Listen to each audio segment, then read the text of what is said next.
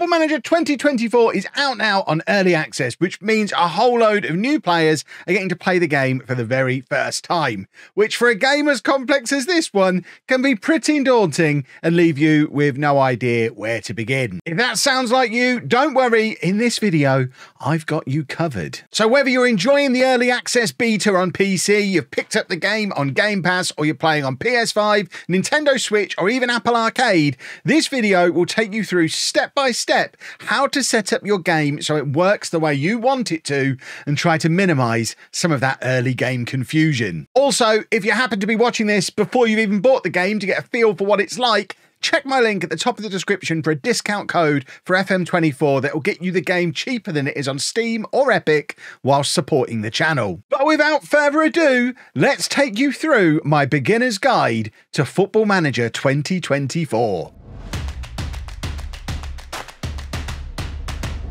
And when you load the game up for the first time, it is going to look an awful lot like this screen. There might be some slight differences. You're not going to have Brighton kits in the background. You're not going to have the option to load your most recent save uh, because you won't have one if you're brand new. If you played FM23, you might have the option here to load an FM23 save. That is a new feature for FM24, but chances are, if you're completely new, um, you'll just have the option to start a new game and then you'll have the load game, join online game stuff as well. But if you're new, new, you want to be starting a new game. And that is what I'm going to be taking you through in this video. If you're looking for a, a guide for how to play the early stages of the game, that's coming up in a couple of days. There'll be a video called Your First Week in Football Manager, where we're actually going to do things like setting up tactics, getting your transfers sorted, sorted, your staff, your training, that kind of thing. This video is very much about getting the game set up so that it works the way you want it to work. Either way, you should leave a thumbs up on the video if you find it helpful. Subscribe to the channel, turn your notifications on so you don't miss out on those upcoming guides and also the daily Let's Play content and all the other lovely FM24 content we've got here on the channel at the moment. But before we hit start new game, the first thing I would suggest you do is go into preferences and there are a few things you can mess around in here that are very much going to optimize your in-game experience. The first is scaling. If you're playing on a, a standard 1080p PC monitor, and this is set to 100%, I would suggest you actually take it down to 95%. It'll make the text ever so slightly smaller, but does add loads more information to the screen. If you don't want loads of information, if the idea of that sounds daunting, by all means leave it on 100. But when we get a little bit further into this tutorial series and you start seeing some gameplay and you see the touchline tablet, if you don't know what that is, you will soon. But if you see the touchline tablet and mine has six sections on it, so it gives you all the information you need, and you're thinking, well, mine's only got four. This is why. If you make this 95% now, it will automatically already have the six it will already have the extra information on player profiles, club profiles, that kind of thing. If you're playing on a particularly old laptop with a smaller resolution than that, you might even have to take the scaling down even further. Or if you're like me and you're playing on a massive 28 inch 4K monitor, you actually might want to zoom in a bit because the game looks tiny. If you leave it on 100% on a 4K monitor, my old man eyes can't read it properly, so I take mine up to 125%, and that's what you're seeing now. This is a 4K screen on 125%, and this is my comfortable level. But you can try around with those, get an idea for what works best for you.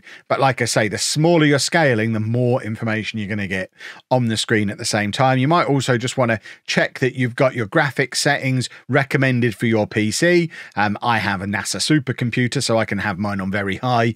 I'd suggest just put recommended for this PC and you should be fine. And if you don't want loads of iffy crowd noise to happen when you're trying to sneak a game in bed before you go to sleep at night, you might want to just untick match sounds and music. Leave them on if you want the sound.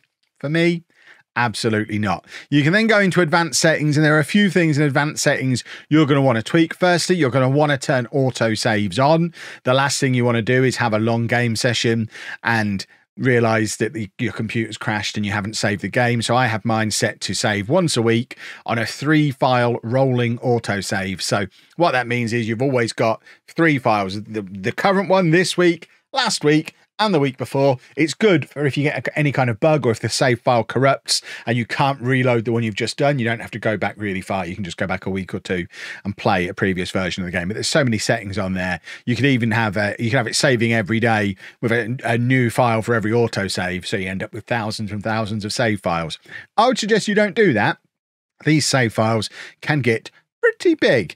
Um, there's a couple of other bits for you to tweak in here as well. Um, if you want to do stuff like adding the real kits, real faces, real badges that aren't in the license leagues, I've actually got videos already showing you how to do that. It's a little more complex than the basic stuff, um, which is why I'm not including it in this one, but you can go and check those videos out if you want to be able to do that. But the other thing that I like to do on the settings page is go to formats and just English this up a little bit because, as standard, I think height is in meters, weight is in kilograms, distance is in kilometers, that kind of thing. So I just I change all this to match the stuff I'm most comfortable with: feet, stones, yards, miles, pounds, normal match odds, dates done in the correct order. Obviously, depending on where you are in the world and what you prefer to play the game, and you can customize this to whatever currency, whatever way of measuring how big you are that you want.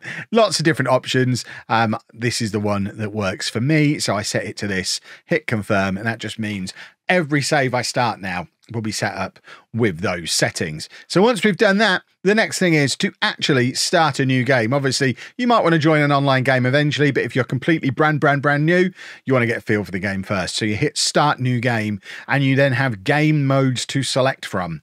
We're going to be starting here on career mode. There are other things that you can do the deeper in you get. And if there's a demand for it, let me know down in the comments.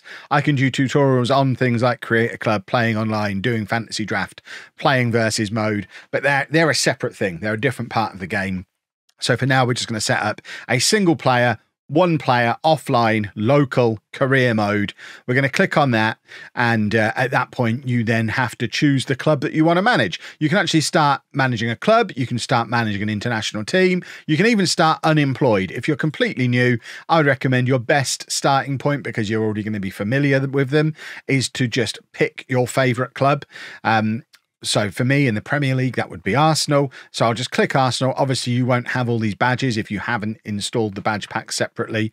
So those videos are linked down below. But if we just pick Arsenal and then choose game mode, this is actually a new feature for FM24. So if you've dabbled a little bit with FM in the past, everything so far might have felt familiar, uh, but this is new. And it's important that you select the right one for how you want to play your game. So there's three game modes to choose from. Original mode is the standard way Football Manager has been forever. If you've ever played it before, you've played it on original mode, and it's probably your best place to start. And with original mode, you start on whatever start date you pick. You'll get to that in a second. And the squads are up to date as of the end of the transfer window that has just finished. So if you're starting your game around about the launch of the game, October, November time, your squads will be up to date as of the end of August, transfer deadline day. If you're starting your game in March, next like March 2024, um, the squads will be up to date as of the end of the January transfer window. You will start the game at the start of the season, though, with whatever start game you pick. So it's just whatever the real squads are in real life at the time you start your game. Um, that's how they'll start in original mode, but you'll start at the beginning of the season. You then have two new options. Real world is based on players arriving when they arrive in real life. So if you start your game, for example, at the start of July, your squads will be correct as they were at the start of July, but if you then had transfers coming in and out of your clubs, and obviously you will, that went through July, through August, maybe the January transfer window as well, those transfers will be set up as future transfers and will happen on the date that they happened in real life. So, for example, we've got Brighton behind me and Sufati signed for Brighton right at the end of the transfer window in the summer. So, when you start your game in July, he won't be at Brighton, but he'll have a future transfer arranged and will arrive at the end of the transfer window. Likewise, any transfers that happen in real life in January, they'd happen in January in game. And then you've got your world mode, which is something a little bit different. As it says there, if you want to explore a different reality, it resets back to, it says there, the 3rd of July, and the squads will be accurate as of the 3rd of July, your date you start your game but all of the future transfers will be cancelled. So, in that example we just used, Ansu Fati never arrives at Brighton. He just stays at Barcelona. It also means Caicedo is still at Brighton and you can choose whether to sell him or not. So, three different options. Um, I do, if you want to see more on your world, I am doing a Twitch save on Chelsea in your world mode at the moment. Um, so, you can come and watch that on Twitch. I stream most nights, twitch.tv slash Lollujo, or there's highlights of that series on my second channel, Lollujo 2, that I'll link to down below. But for today, we are just focusing on original mode. If you are brand, brand, brand, brand new and it's already seeming confusing, just hit quick start here. You don't need to overcomplicate complicate it. Um, if you do want to complicate things a little further, though, you can do an advanced setup, and I'll just talk you through advanced setup so you know what you're doing here. Like I say, if this all seems very daunting, just do quick start. You'll get straight into the game from here. But to do your advanced setup, there's lots of things that you can select on this screen. And a lot of it will be dictated based on how good your PC is. You see, we've got the estimated game speed here thing in stars every time you make a change to how your game is going to be set up, the game will change your estimated game speed. I would recommend if you don't want your computer to grind to a halt once you get a year or two into your save, you probably don't want your game estimated game speed to drop below three stars anything three star or above is comfortably playable. You won't necessarily notice a difference. Obviously, five stars is going to fly. If you take this game speed down to one star, and if you've got an older computer and you try and load too many leagues, it will go down to that level. And what you'll end up doing is finding yourself getting stuck in really long loading times, continue times between games, and the game will feel close to unplayable. So be very conscious of what your estimated game speed is. But from there, you can adjust lots of things. So as a, at a basic level, you can choose the size of your database. So we can have a small database, which would have 25,000 players in, a medium database, which is a little bit more, or a large database. Within that, you can even go even more advanced and be like, well, in addition to there being a large database, I also want to load every single player who plays in England, for example, or is based in England. So you can click um, Nations, England, and then from here you can be like, right, I want every player who is based in England to be in my game, which immediately takes your approximate player count up to 43,900. So almost doubles the number of players in your database. So even a large database by no means has every player in. So if you're registered on the books of a a tiny little non-league team in the youth team and you want to make sure your name is in there this is the this is the way to do it make sure that all of your uh, all of the players are loaded in your nation i'm not going to mess around with any of this stuff i'm just going to leave it on i think i mean i've got a good pc we can leave it on a large database you can already see the difference the large database has made. We've gone down already to four and a half stars of game speed, and now we've got to pick our leagues. So, as standard, it will just load up a few leagues based on where you're going to start. We're starting in England, and it's recommending that we also load up Brazil, Scotland, and Spain. No idea on what basis it's picked those, but you can click add or remove leagues. And as the name suggests, add and remove leagues based on which leagues you want to be involved. So you can take these ones off if you don't want them on. You could add another one on. So we could add France and Germany and Italy. And if we're having Brazil, let's add Argentina. And uh, then you can click confirm and be like, oh, okay. Okay, that's taken my game speed down to a level I didn't necessarily want it to go to. Maybe we'll take some of these out. So let's take Argentina out, and just the action of removing Argentina takes us back to back up to three and a half stars. We could remove Brazil as well. I'm going to leave them in because we all like a Brazilian wonder kid. Um, and then you can also choose how deep down the pyramid each one of these nations go playing as Arsenal, we're in the top league. We probably don't need the National League North and South loaded. If you were playing in the National League North and South, you probably might want the lower leagues and some of the other nations loaded as well. So you can go down a little bit deeper in these other nations. But for me, I think having the top maybe just the first division in Brazil, and then the top two tiers in all of these other nations. Um, we might have all four in the Scot in Scotland because they're nearby, aren't they? And we'll just have League Two and above. And you can see most of those tweaks haven't made much of a difference to the game speed. Our database is now just under fifty thousand players, which feels like a nice amount. And then before you hit continue and get started, a couple of other things to select. Firstly, you can choose your game start date. So because we're starting in England, the start dates are based on the dates in the English League. And you can start everywhere from early pre-season which is classed as the 3rd of July. You could go later in the preseason, the start of the season, the start of the Premier League season. You could even go as far as the first matches in the Champions League. So if you're just really keen to manage in the Champions League, you can have your game start on the 18th of September. So the summer transfers are all done. That's all finished. The window is closed. The first Premier League games are done. The first international break is out of the way. And you'll literally turn up on match day of your first Champions League game. And you can just crack on with that. I don't know know why you'd want to do that, but maybe you just want to play in the Champions League. For me, I'm going to leave it as the standard one. Early preseason gives us as long as possible to sort out things like preseason training, tactics, transfers, all that kind of stuff that we'll be doing in that next video in this playlist, your first week in Football Manager, which will be coming, like I say, in a couple of days. And then lastly on here, you've got all of your advanced options. I'll briefly talk you through what each one of these does so you can decide which ones you want on, and then also show you my settings for these as well. Uh, firstly, use fake players and staff very self explanatory. If you tick that, all of those real life players and managers and all of the stuff that makes the Football Manager database so awesome and so unique disappear. They're basically all deleted and they just generate a whole load of fake players to fill the game up with. Probably not something you want to do as a brand new player. It is quite a fun thing to do later on in the game cycle if you're getting a little bit bored of playing the same old saves over and over again, always signing the same old players it really does test your football manager skills because you can't bring any real world knowledge in because it's all irrelevant because it's all fake players. Obviously, I'm not going to do that on this one. We're going to leave the real players in. I don't do that very often, but it can be a little bit of fun when you do do it.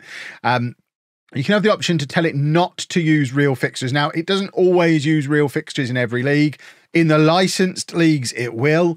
Premier League is not licensed. So if you are in England watching this, it doesn't matter if you press that or not. You're not going to get the fixtures that happen in the same place, in the same order. You're not going to get the same Champions League groups and that kind of thing. Um, you can turn it off so that it doesn't happen anywhere. I tend to just not touch it. I don't mind the real fixtures being on where they need to be on. I, I, don't feel the need to fiddle with it. Uh, do not add key staff. I leave this one ticked. If you leave it unticked, when you start the game, if a club hasn't got a, a physio, for example, it will generate a fake one and put them in. I don't want loads of fake staff to be generated and added to my clubs. So I tick that to stop it from doing it. So that club will now just not have a physio. They'll have to go out and hire one. If you want to go into a club and know that you're fully staffed right from the start, maybe you want to leave that unticked so that they get a load of fake staff in. I'd rather just go and get the staff myself. And player add players to playable teams is the same thing, but for players, but the buttons are the opposite way around, just to confuse you.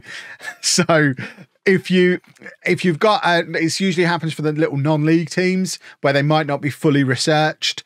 If you uh, if you just load the game up as standard and the club has only got 10 players on their books in the fm database it will load up with just those 10 players and you'll have to sign the rest of your squad. If you tick add players to playable teams it will add a load of fake players to fill the squad. So you've got a full squad of players but again, if you're looking for realism, you don't want a load of fake players, so you leave that one unticked. So we're telling both of these options to do the same thing, but in order to do that, one of them has to be ticked, one of them has to be unticked. I don't know why they need to overcomplicate it and have the buttons do the reverse thing, but they do. This next one is something that a lot of people like to do if they're looking for that full realism mode. If you tick this box, disable first window transfer activity, it basically takes everybody's transfer budgets away up until the end of the first transfer window, so no transfers will happen happen. So because the database is accurate to the end of that first transfer window, if you want to make sure that they don't kind of redo their transfer window again, even though they've already done it, you can just tick that. No transfers will happen during that first window. First transfers start happening from the 1st January. It's up to you whether you tick that or not. I tend not to, but you can tick it if you want to. No one's going to be upset with you. Attribute masking is it's basically like the fog of war in strategy games, um, where you can't just automatically click on any player in the world and see all of their attributes straight away. If you tick that, it disables attribute masking. So that means you can click on any player anywhere in the world and see all their attributes sta- straight away. If you have it unticked, you can't. You have to scout them first. So you'd have to send your scouts to have a look at them, probably multiple times to get all of their attributes in. And it makes it a little bit more accurate to how it is in the real world. Obviously, you can't just snap your fingers and know everything about every player straight away. It does make the game a little bit harder though, because you can't immediately tell if a player is going to be good enough to sign for you. It takes a little bit of time. There's more steps to go through before making signings. So if you want a nice, easy beginner's experience, disable attribute masking. If you want as close to realism as possible, untick that, have attribute masking on, and then you can just scout players to decide if they're good enough to play for you. Um, this next one only really comes into play if you're playing a multiplayer game in single player. There's not really any benefit to ticking this box. It basically just makes it so that you can't take over as manager of a club that already has a manager in game. Now, obviously, if you're just setting up a single player game, just pick who you're going to manage. you don't need to have the game force you to not let you manage certain teams. You've probably already decided at this point who you're going to manage. But if you're like hosting a, a network game with a number of people in, if you tick that, it will mean the only clubs they can add themselves to as manager are the clubs that don't have a manager in the database already, or they'll have to wait for somebody to be fired. Um, so it's quite a cool thing for multiplayer games, which again, that's a whole separate video, setting up a multiplayer game. And then lastly, prevent use of the in game editor. The in game editor doesn't actually come as standard, it's a paid DLC. I don't think at the time of recording it's even available yet for FM24. It usually comes out on full release of the game. Um, if you tick this box, you can't use it in your save. So certainly for my YouTube and Twitch content, I always have that box ticked so nobody can accuse me of cheating and it just it will not allow you to use the editor. If you want to be able to use the editor, make sure it's unticked and you'll have to go and buy the editor as well, which will be available at some point. It's usually like a pound. It's not very expensive, um, but we'll leave it prevent use of in-game editor. And that is your advanced settings all set up, ready to go. From there, you can just hit start game. It'll then go and do all of the setting up of the database stuff, and we'll come back on the other side of that. So once all of the uh, database setup and stuff is done, you then have to choose or create a manager profile. I've already got one because I've already played some saves on FM24, but if you're brand new, you'll be creating a manager profile and you'll have a screen that looks a lot like this one. You can spend as much or as little time on this screen as you want to. Um, I'm just going to very quickly pop my details in again. So there's my name. Um, I am male, I'm English, I was born in Peterborough. You get the idea. I'm just going to fill this screen in. Um, yeah, I was born in 1993. We'll leave that as it is. Uh, and uh, and then you can choose your favorite team as well on there or add more than one favorite team and that does have it has an impact on in-game like message it. I don't think it affects how well you manage the team. It does have an, an impact on some of the emails and things that you get in game. And then you can choose um, what level of experience you've got. Um, if you are if you are new, you're going to want to leave that ticked. Teach me about key management concepts, and the in-game tutorials will come up when it's time for them to come up. If you want to be clever, don't be clever. If you're new, leave that ticked. But you can decide which tutorials you see and which yeah just leave but if you're new and obviously you are if you're this far into this video for goodness sake leave it ticked. Um, and then you can go and select your body. Um, so i'm six foot two and yes i'm a thin man. Um, and skin tone stuff like that. Um, what's me? Way, way down here probably. Um, and then you can import a 3d model from a photo it's usually not very good, but the option is there. Um, and then you can select all this stuff. Or if you don't care about any of this, you can just randomize. So we'll just hit randomize. Um, likewise, you can randomize the clothes that you're wearing. There, is, I mean, there are lots of, you can really go deep on this if you want to. It's like playing an RPG. Um, but I mean, we'll just hit random a few times until we see, there you go. We'll have an Arsene Wenger coat on. We're managing Arsenal. It seems right to have an Arsene Wenger coat. Um, you can add a hearing aid. You can add an eye patch. Um, you can add glasses, pin badges, face paint. There you go. We'll add a bit of face paint. Why not? Um, let's get some glasses on as well because, you know, I am a spectacle wearer. And for some reason, it adds earrings as standard. So I'm going to take the earrings off because I don't have any earrings. I'm far too old and not cool enough for an earring. And then once you've got your manager looking how you want him to look, you then need to decide what kind of manager he is. I would always recommend you tick the box to um, have the attributes match up with the club that you're going to be managing because if your attribute if you're managing a big club like Arsenal and you, your attributes are too low so for example you've got a national C license and Sunday league football so really low attributes the players are not going to pay attention to anything you say. You're going to find it very difficult. You're going to get sacked very very quickly. Um, likewise if you are managing a small club and you set this stuff really high you're going to be able to attract players you wouldn't be able to attract to ordinarily, and it's going to be it's going to make the game much easier. This is the closest Football Manager gets to a difficulty setting.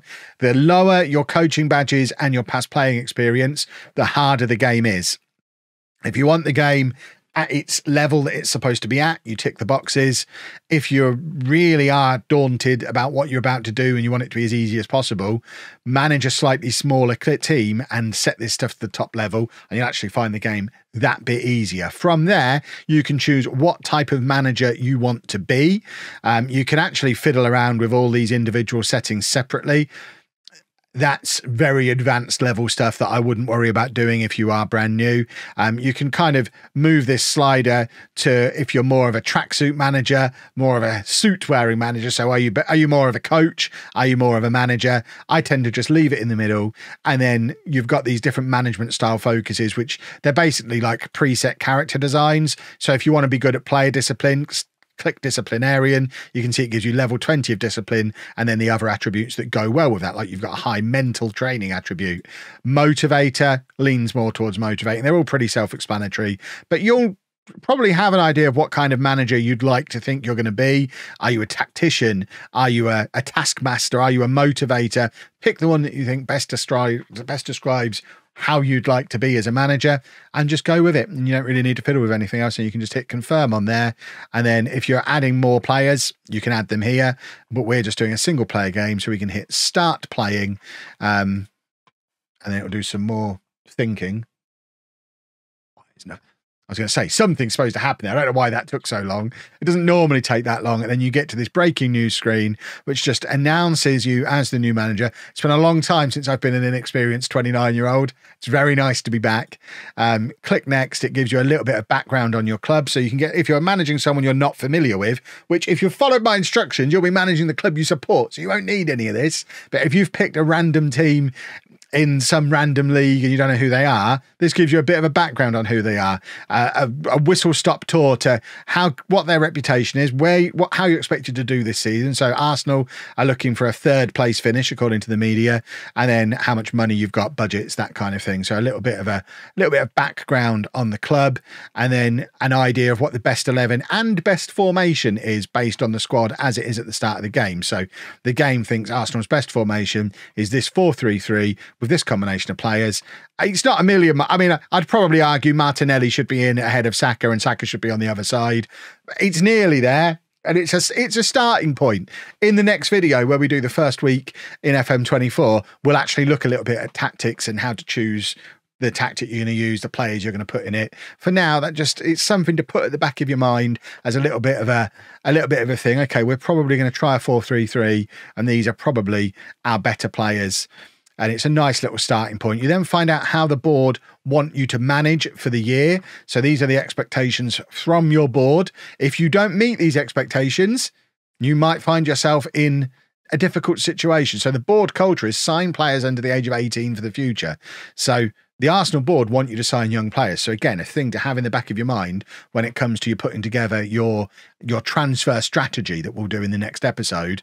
Um, and then these are the long term goals: work within the wage budget, grow, grow reputation, basically become a bigger club, but do it whilst working within the wage budget. And specifically this season, they're looking for qualification for the Champions League, challenging for the FA Cup, reaching the later stages of the Champions League, and be competitive in the Carabao Cup, which basically means don't get knocked out to someone rubbish. And then each one of these has an importance level. So the ones you really need to focus on are the required ones. If you fail a required objective, you'll probably get sacked or be very close to. So the required objectives at Arsenal, the non-negotiable things you must do this first season, you must qualify for the Champions League and stay within the wage budget. From there, they're also oh, and also get to the last stages of the Champions League. There's three required objectives, and then you've got others that are more or less important than each other. So they're pretty. It's pretty important that you sign young players. Um, it's less important that you are competitive in the Carabao Cup. They don't really care about that. So again, stuff to keep in mind. Prioritize. Obviously, you're going to prioritize Champions League games over Carabao Cup games and over FA Cup games, for example. And then this is what the fans want. Um, so the supporters are expecting you to play attacking, entertaining football and finish above Spurs, Man United, Chelsea, and Liverpool. So that sounds a lot like second in the league to me, not third. If you're finishing above all three of those, you're probably not going to be finishing third. But again, it's required that they finish above Spurs and Liverpool. If you end up finishing below Man United or Chelsea, I mean that all that feels very backwards based on the reality of the Premier League at the moment. Um, and then these are all of your tutorials and things that you will want to have on. Don't ignore these. These are the things that we're going to be going through as part of the first week in the job um, video that's going to be coming up very, very soon. And these will take you through all of these different areas of the games and show you how to do them. If you're a new player, you've got to do them. They are good and they will help. So leave them on. You can even get them all sent today if you want to have them all sent in one go. And then lastly, Final part of setup, um, you can decide whether or not you want to have a press conference to meet the media. You may as well. Do you want an intra squad friendly? So your first team against your reserve team? You probably do to get a feel for the squad. And then how often you want to have your meetings with your backroom staff. It's a personal preference thing. I find them a little bit pointless. So I do it every month and then don't even turn up to them. You can leave that set however you want it set. And then from there, hit confirm. It just asks you to save your game. Um, so you can see I've got my uh, my YouTube save, my Twitch save already saved on here. Um, so we'll just save our game. We'll call this, this is the tutorial save um, because we're going to be coming back to this in a couple of videos over the next week or two, just showing how different parts of the game work.